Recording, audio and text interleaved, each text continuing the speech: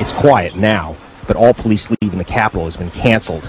They're taking no chances after last week's anti-globalization protests in Quebec and the street wars on this spot during the same meeting last year of the IMF and World Bank. So what's their complaint? The protesters say that what we have here is a conspiracy. The World Bank, the IMF, the World Trade Organization don't help the poor of the world. They're here to crush them. All the bosses are here today. Let's ask them.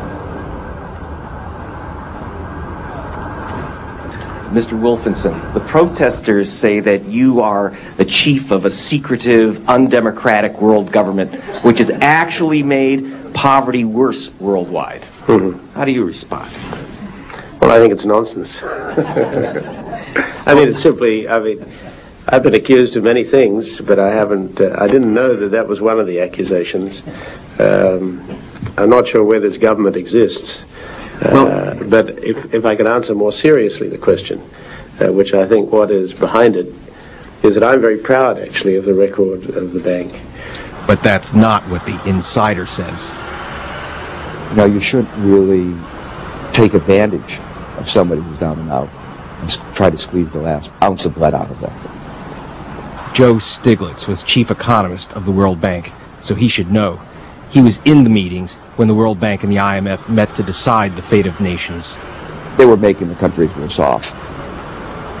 And he charges the IMF actually encouraged corruption. They've taken a strong position on petty larceny, on petty theft, but at grand larceny, they'll, they'll look the other way. The insider says there's a one-size-fits-all plan. Every nation gets the same exact four-step program to the free market paradise. Step one, freedom for hot money. Step two, freedom to increase prices. Step three, free trade for all. And step four, where it all begins, is the freedom to privatize everything. And the insider saw how it worked in Russia.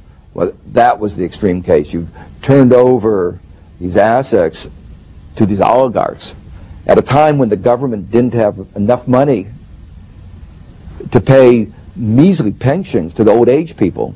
It was turning over billions of dollars to these few oligarchs for a fraction of the value of those assets.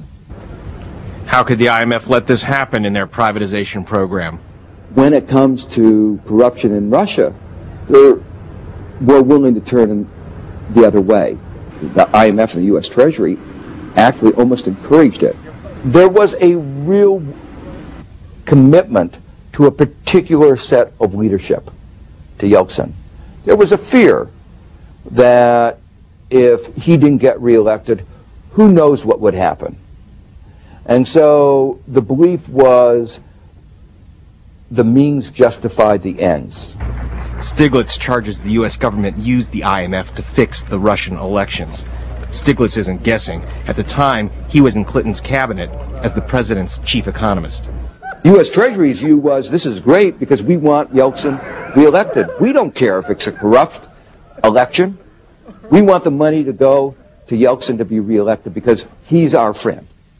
Step two is what the World Bank calls a poverty reduction strategy.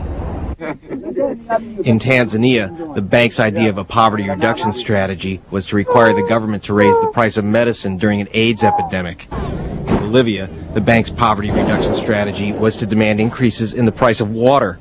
That strategy produced riots. And in Ecuador, the poverty reduction strategy included increasing the price of cooking gas by 60%. And the nation exploded. The riots in Ecuador came as no surprise to the World Bank. We've obtained some confidential documents from inside. This one's the master strategy for Ecuador. It says the bank knew that their plans pushed down real wages and shoved 51% of the population below the poverty line. They even scripted in riots. They said their plans would lead to social unrest. The insider heard the same story about Indonesia. They had been warned if the policies of austerity were continued, economy would go down. The probability of social and political turmoil was very high. They've been warned. And the unfortunate thing is, those predictions came out to be true. Finally, the whole cauldron blew up and did enormous damage from which the country has still not recovered. What got Indonesia was step three of the IMF assistance program ending all controls on capital. This left Indonesia's fate to the mood of speculators and what Stiglitz calls hot money. In Asia, it was the nations that refused the IMF medicine that escaped the financial flames. Both of them weathered the global financial crisis very well. India's been having growth rate over the past decade of in excess of 5%. China's growth rate has been even faster. Neither of them follow the dictum of having capital market liberalization. Step four, free trade. According to the insider, the World Trade Organization just makes the rich richer. So much so, so much so, that after the last round of trade negotiations, the Uruguay round in 1994, calculations of the World Bank showed that sub-Saharan Africa, the poorest region of the world, was actually worse off by, by more than 2%. While the United States was bragging about how many billions and billions of dollars better off it was. Stiglitz says the WTO operates like the British Empire in the Opium Wars, when Britain forced China at gunpoint to open its markets to British narcotics. The new drug wars are over the WTO's intellectual property treaty. Until this month, British and American drug companies used WTO rules to prevent AIDS victims in South Africa from getting cheap medicine.